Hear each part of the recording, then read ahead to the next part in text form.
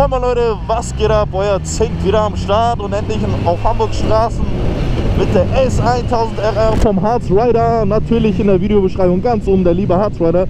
Vielen Dank, dass du mir das Motorrad zur Verfügung gestellt hast. Setzt jetzt ein bisschen Product Placement an, aber den Jungen ist wirklich alles gegönnt. Harzi, ich liebe dich. Hashtag No Homo. Ach, was soll's von mir aus? Full Homo.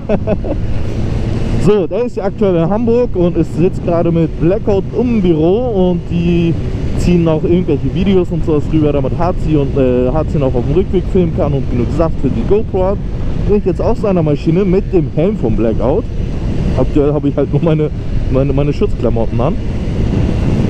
So, heute soll es darum gehen, was jetzt mit der, mit der Kawasaki passiert ist. Und zwar nicht die, die mir geklaut wurde, sondern die andere Kawasaki, die jetzt aktuell ja im Büro steht. Und das nicht seit gestern. Warum die im Büro steht, das werde ich euch erzählen. Aber erst, wie gewohnt, wie ihr es von Zink kennt, nach dem Intro.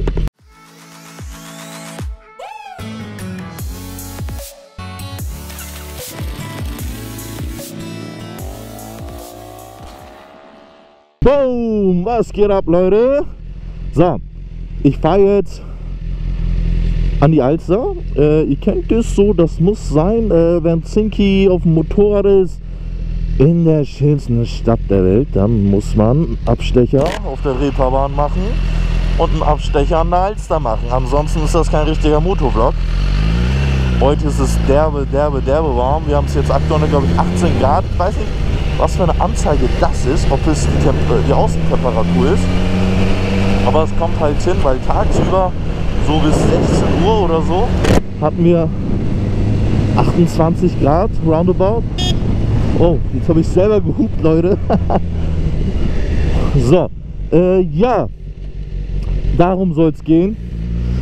Warum habe ich überhaupt die Kawasaki gekauft und im Endeffekt einfach nur ins Studio gestellt, wenn ich damit eh nicht fahren werde? Warum habe ich angefangen, sie umzubauen? Berechtigte Frage.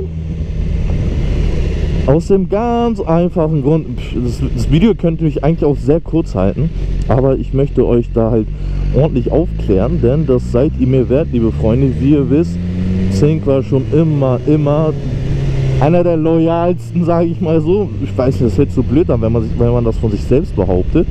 Aber mir war es ja immer so wichtig, dass alles transparent ist, dass ihr alles nachvollziehen könnt, was bei mir abgeht und was Sache ist sei es jetzt äh, mit den Spenden oder sonst was, pipapo, naja. So, nachdem die Ducati weg war, wollte ich hier unbedingt äh, auf eine kleine Maschine umsteigen, damit ich mehr wieder meine Prioritäten aus Kurvenfahren setze, damit ich halt mit einem Moped so ein bisschen äh, leichter habe als jetzt mit einer dicken Tausender oder mit einem, mit einem ruppigen V2 Motor und habe dann die Kawasaki, die ihr kennt, habe ich ja günstig vom Kumpel bekommen beziehungsweise sehr, sehr, sehr günstig. Er hat sich ja letztes Jahr damit zweimal hingepackt und dann habe ich die genommen, habe gesagt, komm, ich baue sie dir auf und dann gehört sie mir. Gut, die Abmachung war ja halt so und so ähnlich. So, ich will jetzt nicht zu sehr ins Detail eingehen, welche, wie, wie, wie wir das finanziell gelöst haben oder so. Denn über Geld redet man bekanntermaßen nicht, bekannterweise nicht und unter Freunden gerade so einer wie er, der mir die Maschinen dann gegeben hat, ist ein sehr, sehr, sehr, sehr enger Freund von mir. Und da muss man nicht über sowas reden. So, die Abmachung war halt so, dass ich die Maschine dann fertig mache und sie dann fahre und hast nicht gesehen. Wie, wie oft ich das Wort hast nicht gesehen benutzt habe. Schreibt mal jetzt alle rein, wie oft ihr in dem Video hast nicht gesehen schon gehört habt. Hashtag hast nicht gesehen mal so und so viel. Bin mal selber gespannt. Ich bin derbe aufgeregt, Leute. Ey, das ist richtig krass. Endlich wieder auf dem Motorrad unterwegs in Hamburg City, Digga. So ein geiles Gefühl. Ich schweife wieder viel zu sehr vom Thema ab. Ich merke gerade, voller Emotionen, Mann. Ich bin so voll geballert mit Gefühlen gerade. Deswegen verliere ich immer wieder den Faden. Genauso wie jetzt. So. Ja, schicke Autos hier in Hamburg natürlich immer rum. AMG GT oder GTS, keine Ahnung, ich kenne den Unterschied zwischen GT und GTS nicht. Erinnert ihr noch an die Stelle? Ich habe gerade ein richtig krass Déjà-vu mit dem weißen GTS und meiner Ducati damals. Es war genau die Strecke, wo wir geballert sind. So, das Video habe ich aber rausgenommen wegen Vorbild und hast du nicht schon wieder hast du nicht gesehen, weil ich einfach viel zu äh, will nicht schnell sagen, sondern ja, es war einfach nicht angebracht, das Video äh, weiterhin online zu lassen. Wo war ich jetzt stehen geblieben mit der Kawasaki? Hm. Ach ja, genau. Die Abmachung war, äh, dass ich sie fertig mache und dann halt fahre. Zum Fahren ist es bis heute nicht gekommen. Denn was mit dem Motorrad ist, kann keiner genau definieren, bevor es nicht in einer fachmännischen Werkstatt war und durchgecheckt wurde. Vielleicht, dass irgendwas mit der Kupplung nicht, äh, nicht in Ordnung ist. Durch den Stützen kann auch sein, dass einige Sachen verzogen sind. Aber das Ganze wird noch in Angriff genommen. Es wird wahrscheinlich ein Winterprojekt jetzt erstmal werden.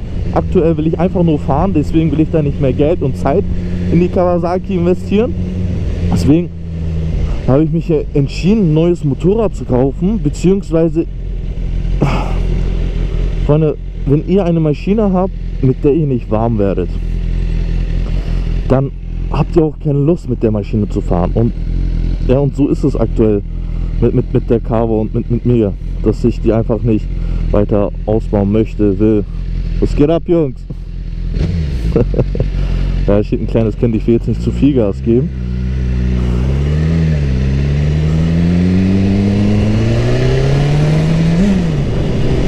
So, die erlaubten 50 darf ich auch hier fahren, werde ich auch hier fahren. So, deswegen habe ich mich entschieden, äh, wieder ein neues Bike zu kaufen. Eins, was in Ordnung ist, eins, was tadellos funktioniert. Welches es ist, das werdet ihr, wie gesagt, in den nächsten Videos sehen, weil Ende des Monats ist es schon wieder soweit. Dann habe ich die neue Maschine wieder bei mir stehen und die wird diesmal gefahren und wird nicht einfach im Studio rumstehen. Freunde, verzeiht mir, wenn euch jetzt ein bisschen das Elan in dem Video fehlt, denn ich bin aufgeregt wie ein kleines Kind. Bin derbe aufgeregt. Und auch gerade so nach neun Monaten Motorradentzug ist man auch nicht jetzt so, dass man wohl doch, ich fühle mich, ich mich sehr wohl auf dem Motorrad. Ist es mir nicht fremd oder, oder ähnlich. Überhaupt nicht kein bisschen. Aber man ist ja halt schon so ein bisschen vorsichtiger als sonst. Aber was geil ist, dass die Motorik, sagt man nur zur Motorik, dass es einfach wieder drin ist, dass sie einfach weiß, so zack, klack, zack, bumm und hast nicht gesehen, was gucken, was gucken mich an, wenn ich jetzt zack, bumm, zack, bumm sage. Äh, mir ist nicht falsch verstehen, es geht nicht um euch. Auch wenn das Wetter so schön warm ist und die Frauen schön leicht gekleidet sind, das hier ist für mich wahre Liebe. Freunde, Motorradfahren ist für mich wahre Liebe. Frauen hin oder her, das ist eine andere Sache so. Aber weiß ich nicht, das Motorradfahren, ich verstehe nicht, wie man aufhören kann, Motorrad zu fahren. Wisst ihr, wie schwierig es für mich war, neun Monate lang ohne Motorrad zu sein? Und das werde ich euch im nächsten Video erzählen, Freunde. So, wie gesagt, Ende des Monats kommt das neue Motorrad. Ich habe heute noch mit ihm geschrieben, mit dem Verkäufer. Äh, da sind noch sehr viele Sach Teile verbaut die einfach sau teuer sind und ich die Teile nicht haben möchte. Das auch gerade hier, eben war da ein Hügel und ich bin sofort so mit dem Po, mit dem Körper so ein bisschen hochgegangen, damit ich meine, meine Cojones nicht am Tank äh, zerschlage. Also sowas zum Beispiel ist immer noch drin, was ich krass und derbe geil finde. So. Naja, so, wie gesagt, neues Moped bald am Start, Freunde. Ihr könnt euch drauf freuen. Ihr könnt ja mal in den, in den Kommentaren raten, welches Motorrad es ja äh, es, ist, es diesmal wird. Ihr wisst, ich liebe Ducati, ihr wisst, ich liebe italienische Motortechnik, wie die RSV4. Aber ihr wisst auch, dass ich total auf die BMW S1000 RR stehe. Hm, eines kann ich euch verraten, es wird keine KTM. Weder eine RC8 noch eine SMCR oder sonst was. Auf jeden Fall wird es wieder eine Supersportler. Und ja, bevor die Frage kommt, aber Zink, du wolltest doch äh, keine große Maschine fahren, du wolltest doch einen Gang runterschalten. Ja, wollte ich, Freunde, aber schlussendlich ist es doch so, dass wir es selber an der rechten Hand haben, wie krass wir Gas geben oder wie sehr wir übertreiben. Das, das passiert alles im Kopf. Und da werde ich einfach einen Gang runterschalten und gut ist, so weil na, nie wieder so eine lange Zeit ohne Motorrad. Warum, als ich die Ducati hatte, die war ja über das ganze Jahr angemeldet. Mein Vorhaben war es ja auch, ähm, über das ganze Jahr zu fahren und nicht nur einfach nur in der Saison. Naja, dann ist es leider doch so gekommen. So, Jetzt wird das Video hier beendet, aber wenn ihr in drei Tagen wieder einschaltet, dann habt ihr schon das nächste Video, was genau hier weiterlaufen wird. Also haut rein, Freunde, bleibt auf dem Bike, bleibt gesund. Zinky Cruise jetzt weiter durch die schönste Stadt der Welt.